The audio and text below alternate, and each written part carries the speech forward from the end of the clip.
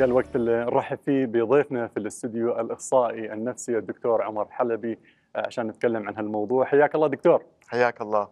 دكتور آه، موضوع العلاقات السامه أو الشخص التوكسيك. قمنا نسمع عنه في الفترة الأخيرة يعني في السنوات الأخيرة قبل كانت موجودة أكيد هالعلاقات بس السمية أو المعنى السمية بشكل عام في العلاقات ما كنا نطري وايد. يعني في السنوات الأخيرة قمنا نتكلم عن صحيح. العلاقات السامة هالشخص toxic هالعلاقة toxic هل نبتعد عنها. شو هي العلاقة السامة بشكل عام دكتور؟ تمام.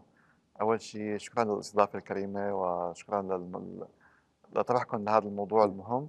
هلا في نقطة أكيد ال- العلاقات السامة أو ال toxic هي موجودة بحياتنا لكن آه، بدي نوه لنقطة إنه أح- أحيانا كثير بصير في مبالغة.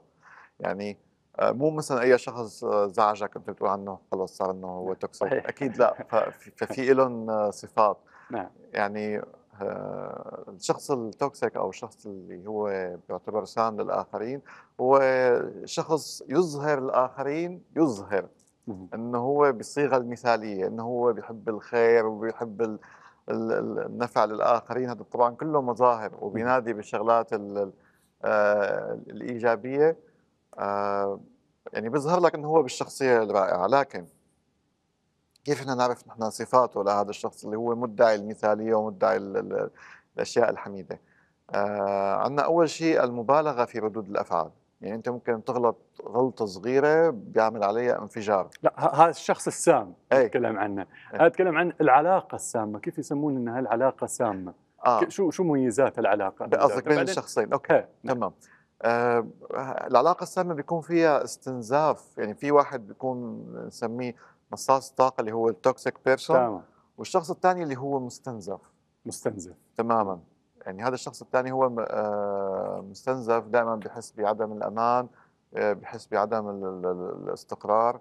آه، دائما بتلاقيه مشاعره مخربطة انه عم يتعرض هو لضغط نفسي من من الشخص الثاني. من الشخص الثاني وفينك تقول إنه هو بيتحكم فيه. والشخص ال- اللي هو خلينا نقول المستنزف أو المستغل يكون مرتاح نفسيا ما عنده هالمشاكل لا هلا لا ال- الشخص أول شيء هو ال toxic السام هو أصلا نعم. عنده اضطرابات نفسية هو عنده اضطرابات هو نفسية. بالأصل لأنه ما في يعني الشخص الطبيعي ما بتصرف في هي ال- ال- التصرفات فهو شخص آه، أناني مهم. تمام آه، بيظهر بهذا المظهر ال- ال- الجميل قدام الناس وبيخدع الناس بهذا الموضوع هو ما يعرف إنه إنه هو شخص toxic صحيح؟ هلا هو بينه وبين حاله بيعرف. آه، لكن هو ما بيعترف. ما بيعترف. يعني نعم. انت لو بت- بتواجهه بتقول له انت كذا كذا بيقول لك لا وانت عم تبالغ وكذا هي المشكلة. غير إنه هو شخص مستغل هو شخص ياخذ ما يعطي. آه، هو شخص في النهاية يمثل أو يعطي آه، شعور أو انطباع بالمثالية. شو صفات الشخص التوكسيك أو الشخص خلينا نقول سام؟ تمام. okay. الشخص ال toxic أو السام اللي هو يدعي المثالية والناس كثير بتنخدع فيه. نعم. لأنه أنت ما يعني مثلا في شخص ممكن أنت تشوفه لئيم هو من أول ما شفته أعطاك هذا الانطباع. بس هذا مشكلته لا هذا بيعطيك الانطباع الحلو والكلام الحلو وال- المثالية والأخلاق الحميدة الظاهرة. لكن وقت ما الشخص بيتعامل معه عن قرب هون بيطلع ال- الصفات.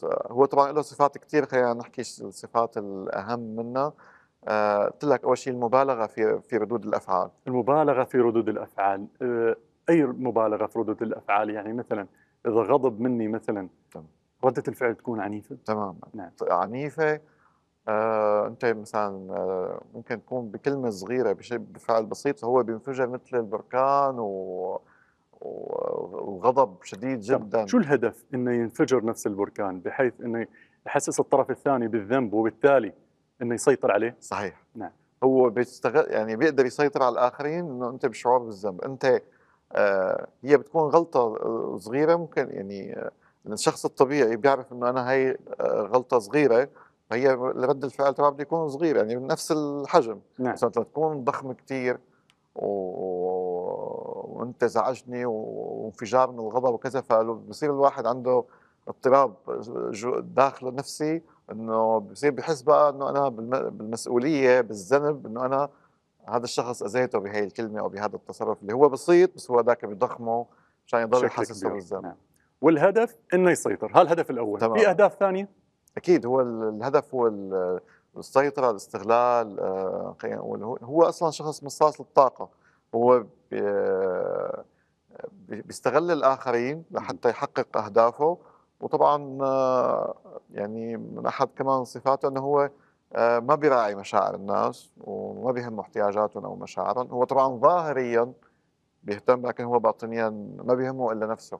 مثل ما قلت أنت قبل شوي حضرتك قبل ال- الهوى آه، وعنده السايكو الشخصية ال psychopath سايكوباتية. ال- طبعا ليس كل شخص سايكوباتي هو شخص toxic نعم. سايكوباتي للجمهور يعني هو شخص أناني.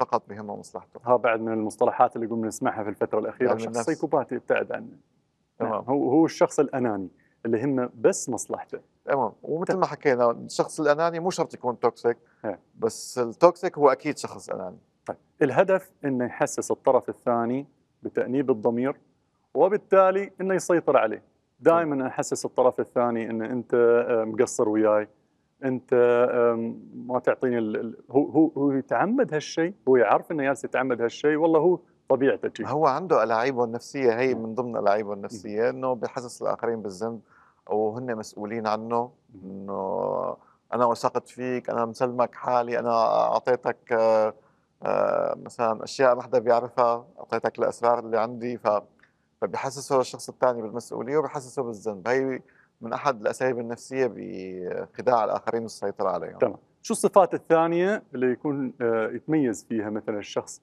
ال toxic ال toxic نعم. تمام. آه حكينا إنه أول شيء آه آه ردات الفعل المبالغ فيها الحاجة المستمرة للاهتمام. وطبعا يعني لازم إنه أنت آه، كل فترة تحكي معه وتصبح عليه آه، تاخده لأنه أنت إذا ما اهتميت فيه بيقول لك إنه أنت آه، ما عاد اهتميت فيني هل أنا مثلا مقصر معك؟ فكمان هون بيحسسك بالذنب. حتى بالموضوع الاهتمام آه، فأنت بتحس إنك أنت مجبر إنك تهتم فيه مشان ما تشعر شو؟ بشعور الذنب. وبالتالي هالاهتمام يكون آه، جاي مش من حاجة الشخص إني أهتم فيه بس أنا أخاف من إنه يلومني. تماما. تماما. صحيح؟ تماما. نعم. اي فحكينا أول شيء آه إنه هو عنده وعنده النقطة الثالثة التناقض المستمر نعم إنه هو شخص متناقض مع مع ذاته يعني تسمع أقوال من, من مثلا قبل بيومين بعد ثلاث أيام بيحكي لك أقوال ثانية نعم.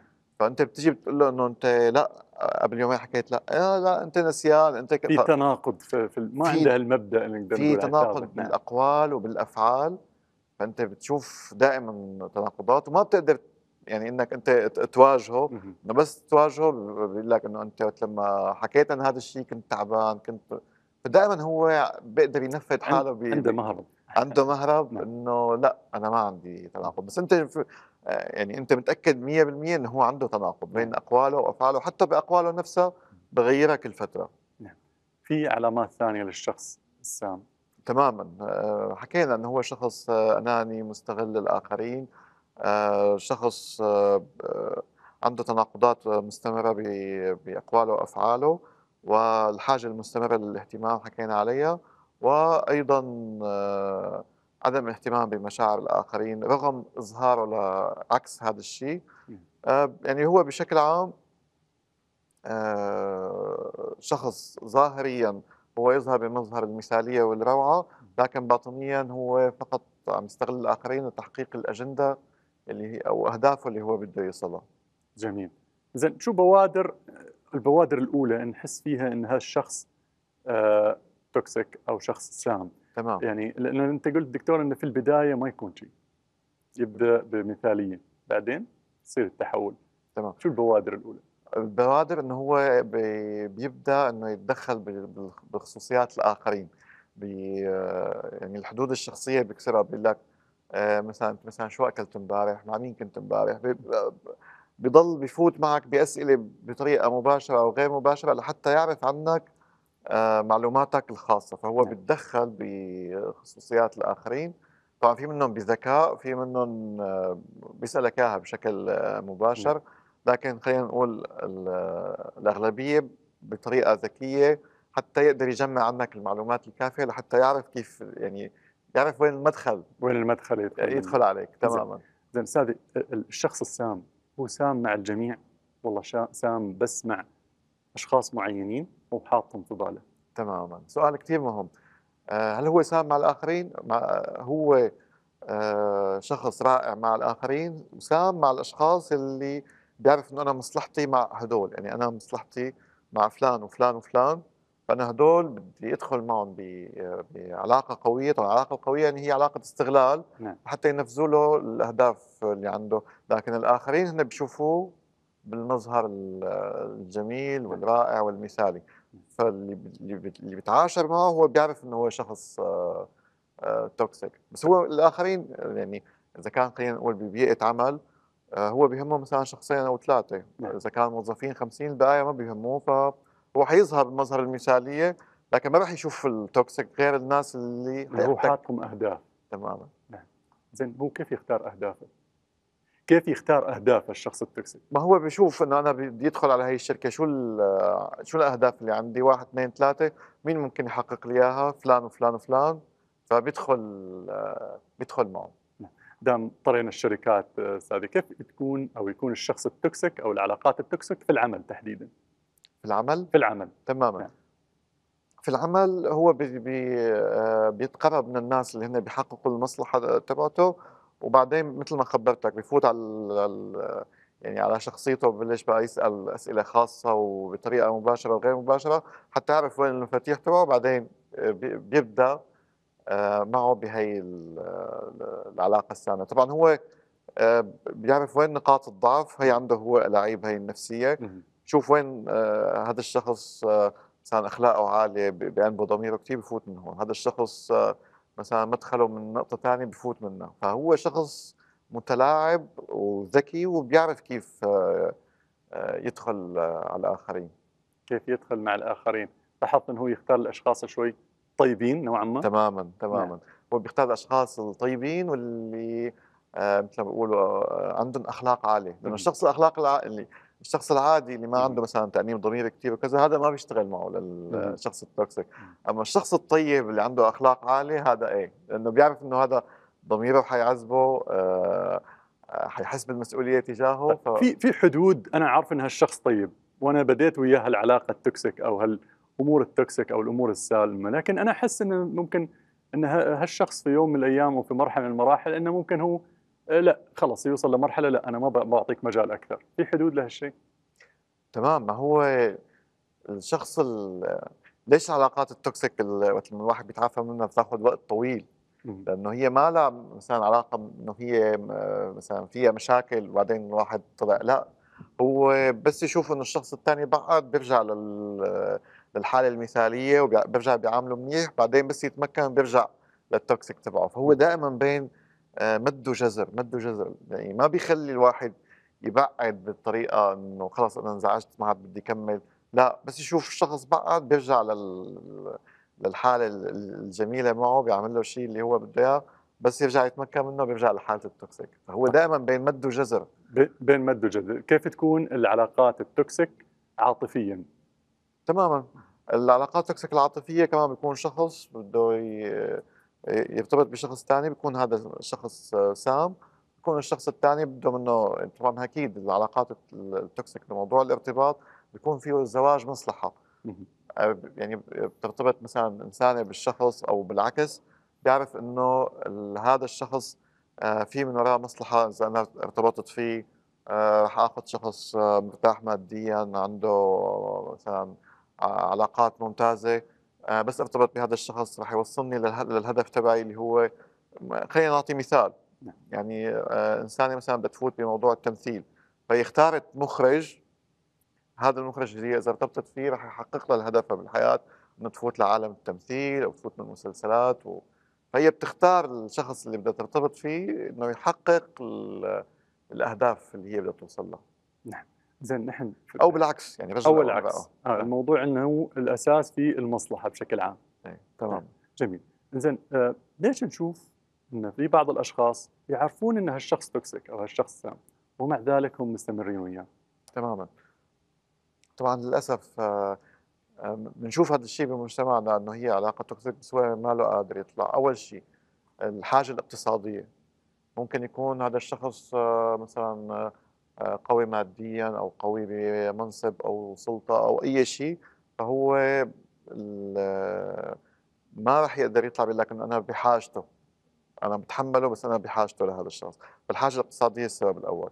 اثنين في معتقدات في ناس عن يعني نشأوا عندهم معتقدات خاطئة إنه كل العلاقات هي فيها مشاكل. أوكي هي اللي, أنا عايش فيها هي موجود فيها مشاكل مثل باقي العلاقات. النقطة الثالثة بيكون الشخص هذا عنده يعني مثلا مشاكل ثقة بالنفس أو مشاكل بالشخصية فبدي فبيجي هذا الشخص السام أو التوكسيك بيعزز له هي الشيء اللي اللي هو جواته. يعني مثلا هو عنده قلة ثقة بالنفس هذاك بضل بورجيه إنه أنت عندك مشاكل قلة ثقة بالنفس. لهالسبب ممكن نحس ان في بعض الناس يلجؤون أو يتمون مع هالأشخاص بسبب إنهم آه، يحاولون قدر الإمكان يثبتوا له لأ أنا شخصيتي قوية. تماما تماما. أنا ترى أنت اللي جالس تنتقدني فيه لأ هالشيء مش فيني. تماما تماما. هو مش واثق من نفسه هو يبغى إثبات. صح صح. فهو ف... بخليه دائما إنه هو يثبت له إنه لأ أنا عندي ثقة بالنفس أنا عندي يعني هي هي الاعيب نفسية. هذا الشخص بيعرف كيف يتلاعب فيها تماما. النقطة اللي بعد هيك هو موضوع علاقات الوالدين وهي هي مشكلة كبيرة. يعني وقت لما ينشأ الشخص بجو عائلي مثلا الأب والأم دائما هو في مشاكل آه، وخناق أو في انفصال صار. فهذا الولد وقت لما نشأ في هذه العائلة نشأ إنه في عائلة إنه أوكي نزلت عنده بالعقل الباطن إنه العلاقات إنه هي فيها مشاكل فيها دائما فيها عدم راحة. وخصوصي إذا كانت العائلة اللي نشأ فيها إنه هن دائما بيتطلبوا منه إنه إنه أنت لازم ترضينا لازم آه، تحقق كل شيء بدنا إياه. في أحيانا بتلاقي هيك عائلات. فإذا هو نشأ بهاي العائلة يعني أكيد اللاوعي تبعه حيختار شخص toxic مثل ما هو متخيل إنه العلاقات هيك لازم تكون. يعني نحن عندنا المشكلة مش اضطراب نفسي بس في الشخص ال toxic في الشخص اللي هو أصلا يتحمله ومستمر وياه. تمام لأنه إنه آه اللي بيستمر معه مثل ما حكيت بيكون هو عنده مشاكل ثقة بالنفس ومعتقدات خاطئة عن المجتمع. في عندنا المصطلحات النفسية بشكل عام يستوي فيها من خلينا نقول نوع من اللبس. مثلا عندنا التوكسيك وبعض الناس توصفه أحيانا إن هالشخص نرجسي. فشو الفرق بين الشخص النرجسي أو النرجسية والعلاقة السامة بشكل عام أو الشخص السام تحديدا؟ تمام.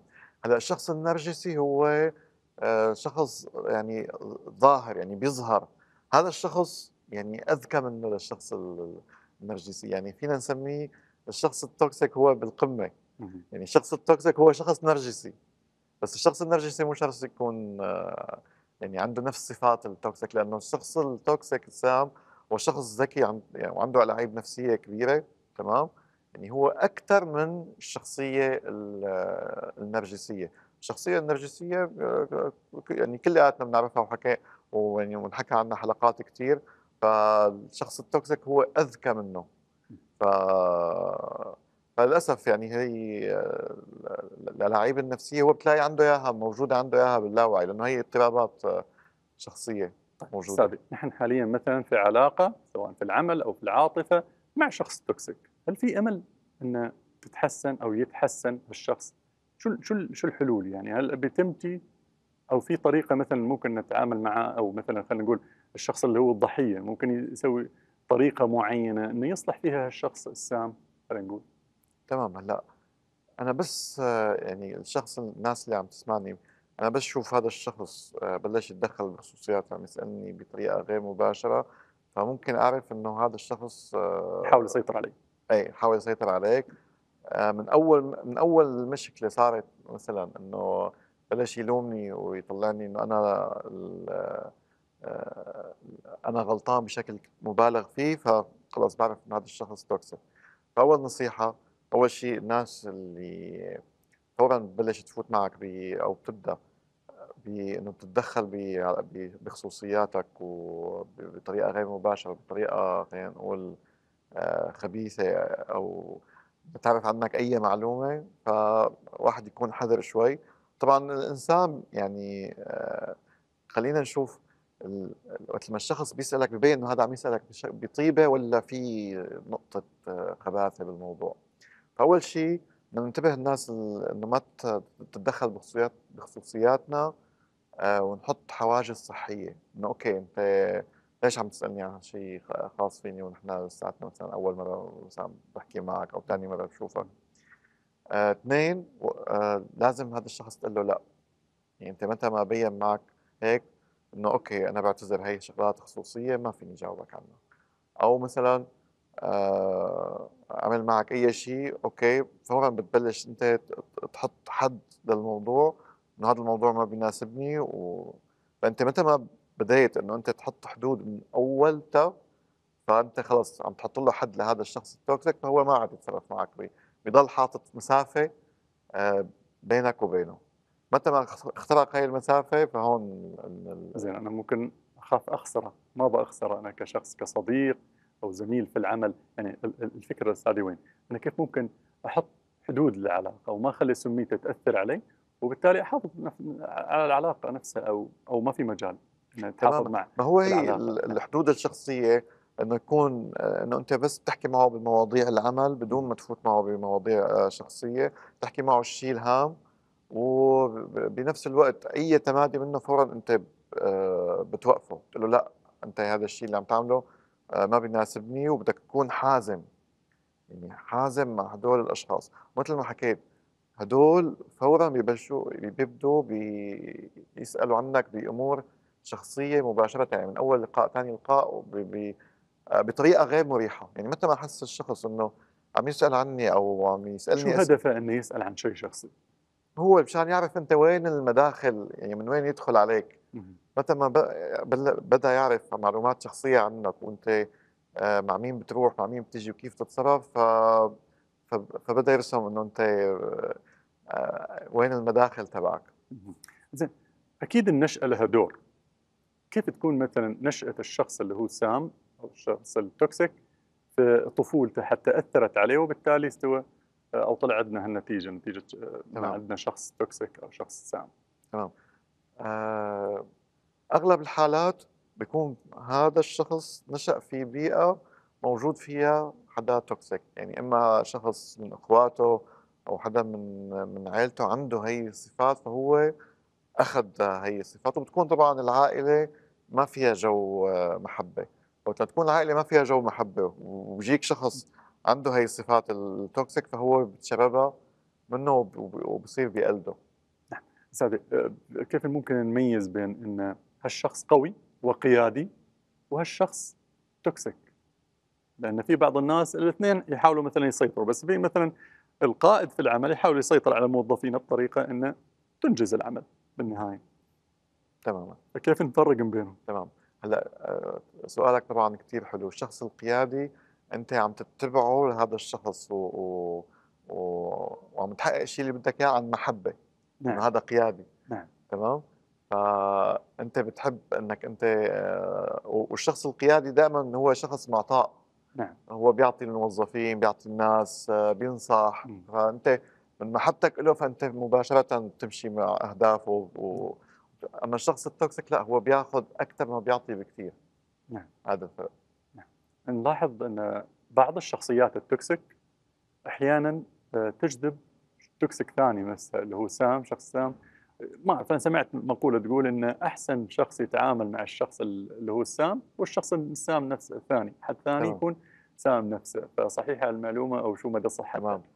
آه لأنه الاثنين بيظهروا بمظهر ال- المثالية والصفات ال- الرائعة بس هدول ما بيكملوا مع بعض.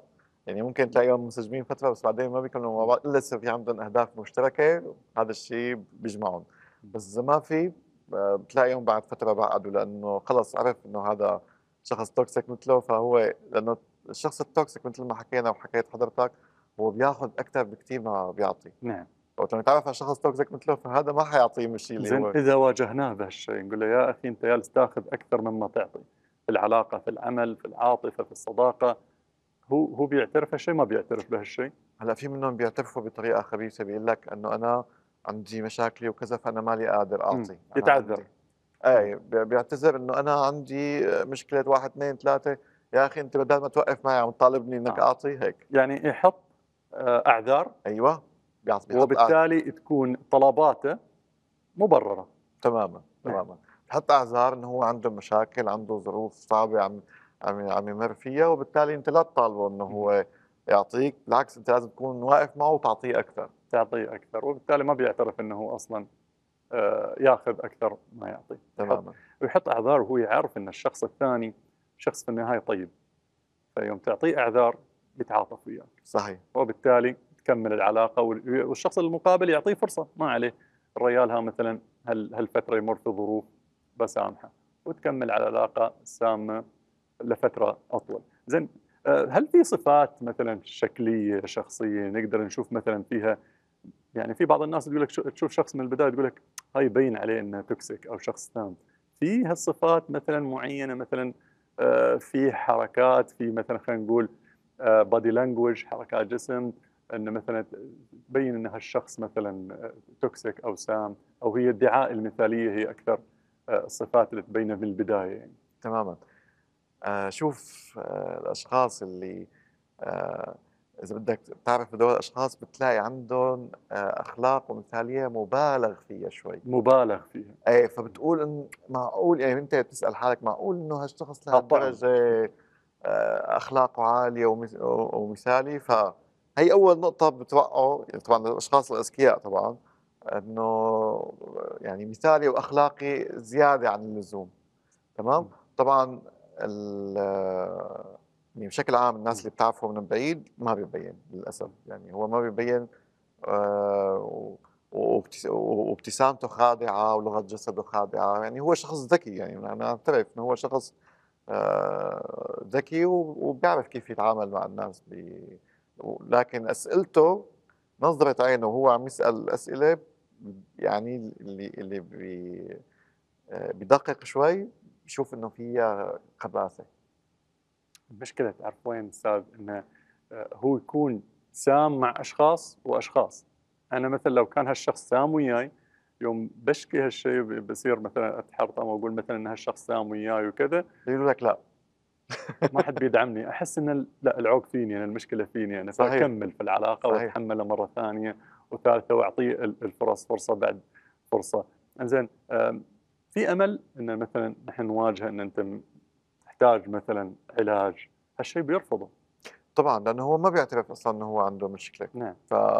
فاحسن حل هو الابتعاد وبالتدريج عن الشخصية السامة.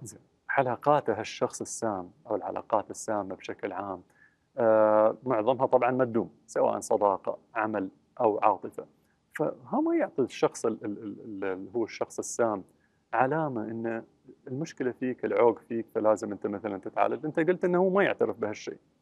ففشل العلاقات أو فشل المتكرر للعلاقات ها ما يعطيه علامة إن أنت لازم تشوف الموضوع تحل الموضوع الموضوع من صوبك ما هو هي الفكرة إنه هو ما بيعترف إنه هو أصلا عنده مشكلة وعنده دائما تبرير لتصرفاته. يعني دائما الحجة جاهزة مم. اي شيء بتواجهه فيه.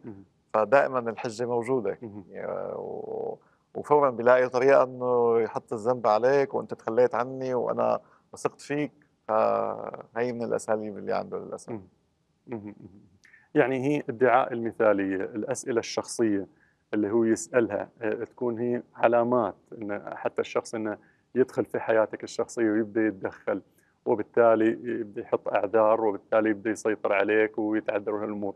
في في أمور ثانية مثلا نحذر من هالأشخاص إن هالشخص مثلا سام في العمل مثلا. في تمام أمور ثانية مثلا يعني العلاقة بتتم شيء انه خلاص ما لها حل يعني العلاقة الحل هو إن نقطع علاقتنا بهالشخص أو نحط له حدود. هو أحسن شيء بموضوع العمل هو إنك أنت تحط حدود تحط حدود. لهذا الشخص. نعم. طالما حطيت حدود آه، فبتضل العلاقه ج- يعني جميلة. نعم. وهو حيتصرف معك انه هو مثالي. نعم. حيتصرف معك بالمثالية وخلص بيقول لك إنه هذا الشخص مثل ما بيقولوا كشفني. وعم يحط لي حدود فخلص خليني معه زين. بلاقي شخص ثاني بيعمل معه ال- ال- يعني الحدود إذا نحن حطينا حدود لهالشخص خلص بالتالي ممكن أن تتعدل العلاقة ويكون إنسان آه خلينا نقول إنسان سوي والعلاقة. ظاهريا طبعا لأنه أنت. حيكون في حدود فبالتالي حي- حيتصرف معك بحدود العمل و بس طبعا ال- ال- الشخص هو اللي بده يحط حدود. وبده يكون حازم من أولتها فبيتصرف معك زين وبيكون معك تمام بس أنت آه، بتعرف إنه هذا الشخص هو عم يتصرف بس لحتى يمشي العمل وتمشي الأمور وحيكون قدامك يعني آه، مثالي بس في أكيد حيلاقي شخص ثاني و- ويمارس يعني. أنا إذا شاف إن شخصيتي أنا حطيت لها حدود بيتم وياي خلاص العلاقة بتستوي طبيعية. إيه والله بصير- كل فترة مثلا ممكن يرد مرة ثانية حق السمية في العلاقة وبالتالي أرد أنا مرة ثانية أحط له حدود حتى إني أقوم مسار العلاقة مثل ما يقولون. صحيح؟ تمام. هو الشخص طالما هو مصلحته معك عالية فهو كل فترة بيحاول إنه يتجاوز هاي الحدود وي... طيب أستاذي مصلحته وياي عالية. هاي تقريبا ممكن نقول خلينا خلينا نقول عنها إنها مثل- موجودة أكثر شيء مثلا في الدوام أو في العمل وكذلك في العلاقات في علاقات الصداقة مثلا. في علاقات مثلا العاطفية أو الأزواج إنه كيف ممكن تكون أصلا مصلحته وياي مثلا عالية ويتم على هالحال رغم إني أحط له حدود؟ هلأ. بالزواج تم الزواج واصلا هو تزوج الشخص الثاني لأنه عنده بيعرف إنه هذا الشخص راح يحقق لي المطالب تبعي وال... والمصالح اللي عندي. طبعا هون للأسف يعني هي حالة استنزاف آه، مستمر. وبالتالي بنشوف الشخص اللي هو بعلاقة ارتباط أو بعلاقة زواج مع شخص toxic بنشوفه مستنزف طاقيا آه، مكتئب آه، حالته النفسية سيئة وكمان بتلاقي عنده كمان مشاكل جسدية ثانية موضوع ممكن ضغط أو سكري أو مشاكل قلبية أو آه، آه، خلينا نقول آه، مشاكل نفسية تأثر على تستوي عنده بعد مشاكل عضوية بعد بسبب أن النفسية تعبانة أغلب الوقت تماما انت. جالس تتعامل مع إنسان تحاول ترضيه قدر الإمكان ولكن في النهاية هالإنسان ما يرضى ويحملك انت الذنب تحس أنت في علاقة أن أنا شو أسوي؟ تماما. فبتلاقي يعني يعني هذا الشخص مثل ما بيقولوا آه، صار غريق ما عاد يقدر يطلع من. للأسف يعني مثل تصير علاقة زواج. ف الموضوع جدا معقد يعني آه. نعم. يعني لهيك العلاقات بموضوع الصحة النفسية الشخص اللي طالع من علاقة سامة. هذا بياخذ وقت أطول يعني ضعف من الشخص اللي كان مثلا موجود بعلاقه وانفصل عنها سادي قبل أن ننتقل للنصائح نوجهها للناس أو العلاقات هذه بشكل عام آه نتكلم عن موضوع جدا مهم اللي هو شو العلاج النفسي يتطرق؟ شو شو طرق العلاج النفسي حتى نعالج هالشخص اللي هو آه، شخص سام أو شخص توكسيك؟ هلا آه، برجع بقول لك الشخص السام ما بيعترف إنه هو أصلا عنده مشكلة بس خلينا نقول الشخص اللي هو مارس عليه هاي ال- ال- السمية آه، أكيد بده يعرف إنه أنت طالما أول شيء لازم يعرف إنه هو هي العلاقة آه، آه، سمية. هلأ نحن كيف بدنا ننصح واحد؟ يعني مثلا أنت شفت شخص من أصدقائك أو شخص أنت بتعزه إنه هو داخل بعلاقة سمية وعم يستنزف. نعم. أحسن طريقة لهذا الموضوع إنك أنت تكتب مثلا على دفتر أو تجيب أي شيء. صفحة تكتب عليها إنه أنت كيف كنت قبل ما تدخل هي العلاقة أو هي الصداقة أو كذا. وكيف صرت هلأ تمام أو كيف صرت الحين بس لما تكتب له اياهم إنه أنت كنت كذا وكنت كذا وكنت كذا كنت شخص مثلا سعيد كنت شخص تضحك هلأ أنت مثلا آه، مكتئب ما عاد ضحكت كذا ف هو يحس الفرق إيه فأنت بتفتح له وعيه إنه آه. آه إنه آه إيه والله أنا. كنت هيك وصرت هيك بعد ما تعرفت. على هذا الشخص أو هي الإنسانة سادي آه، نصائح نوجهها للناس اللي هم في هالعلاقه تمام. آه أول شيء لا تتأملوا إنه الشخص الثاني اللي هو الشخص السام أو التوكسيك يتغير لأنه هو آه هي صفيت شيء جزء من شخصيته وهو أصلا ما بده يتغير غالبيتهم طبعا مو كلهم. نعم. فلا تتأمل إنه الشخص الثاني ما بيتغير. حسنت هسه غالبا. غالبا ما بيتغير. غالبا ما بيتغير لأنه هي صفة صارت نعم. جزء من شخصيته. آه، يفضل إنك أنت آه، تبعد عنه شوي شوي لأنه أنت إذا بعدت عنه ب آه، يعني خلينا نقول فجأة رح تصير مشاكل كثير نعم. فيفضل تبعد عن هذا الشخص آه، شوي شوي وطبعا هذا الموضوع بده آه، أكيد مستشار صحة نفسية نعم. تجلس مع شخص له علاقة بموضوع علم النفس حتى يساعدك إنك تطلع إنه حكينا العلاقات السمية هي العلاج تبعها فترة أطول من أي شيء ثاني من أي أطر شوي من أي مشاكل ثانية نعم. نعم. نفسية وأهم شيء الواحد آه، يبدأ بنشاطات جديدة. يعني مثلا الشخص طلع هلا علاقه سمية أنا بنصح أول شيء تسجل نادي تسجل سباحة سجل ركوب تلهي. نفسك تشتغل نفسك في هالفتره يعني. لأنه طالما يعني هو تارك يعني تاركه مع نفسه فهو بده يضل يفكر صحيح. ويتعذب أكثر. يعطيك العافية الدكتور النفسي الأستاذ عمر حلبي. شكرا لتواجدك ويانا اليوم. فتنا في المعلومات يعطيك ألف عافية. الله يسلمك يا رب. شكرا جزيلا.